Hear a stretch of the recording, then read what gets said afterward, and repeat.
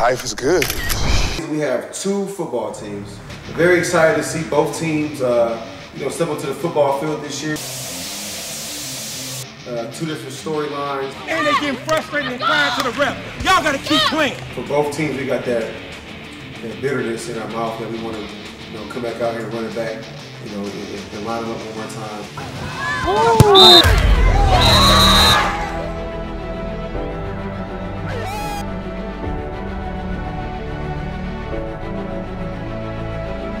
The first game ain't gonna define us. The first game ain't gonna make or break our season. What have you guys been doing since the last game to now? You may get a setback. Every play, teach my boys not every play is not gonna be a touchdown. Trust me. So as far as those boys, boys go out there and really competing, they gonna do that hands down. The biggest thing is let's let's go ahead and, and uh, look the part come out here and do our thing. Let's make sure that our leaders are fired up to get everybody ready to play football. Because last time I checked, the coach gonna coach, the players gonna play. We wanna be sharp. We are Ironhorse Football.